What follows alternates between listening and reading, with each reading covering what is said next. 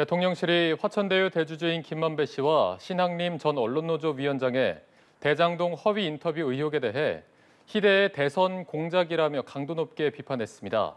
검찰 수사가 진행 중인 가운데 대통령실이 입장을 밝힌 건데요. 가짜 뉴스를 실어나른 언론에도 책임이 있다며 해명을 요구했습니다. 방준혁 기자입니다.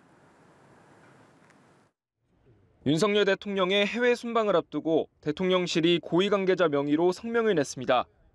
대통령실은 김만배 신앙림 인터뷰는 거짓이며 희대의 대선 정치 공작이라고 규정했습니다.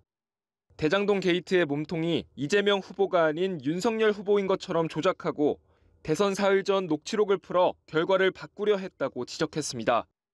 문제의 인터뷰는 신 전 위원장이 2021년 9월쯤 김 씨와 대화한 녹음 파일로 윤 대통령이 검사 시절 대장동 브로커 수사를 무마했다는 의혹이 담겼는데 대선 사흘 전 인터넷 매체인 뉴스타파 보도를 통해 공개됐습니다.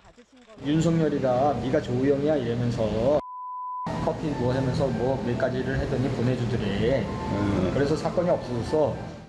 대통령실은 정치 공작과 가짜 뉴스는 민주주의의 최대 위험 요인이라며 악습의 고리를 끊어야 한다고 강조했습니다. 당시 인터뷰 내용을 집중 보도한 방송사 등 언론에도 화살을 돌렸습니다. 기획된 정치 공작에 언론이 대형 스피커 역할을 했다며 비윤리적인 보도에 대해 명확히 해명하라고 요구했습니다. 대통령실 관계자는 중대한 국기문란이자 선거 개입이라며 총선 등 주요 선거를 앞두고 책임을 짚고 넘어가자는 취지라고 설명했습니다.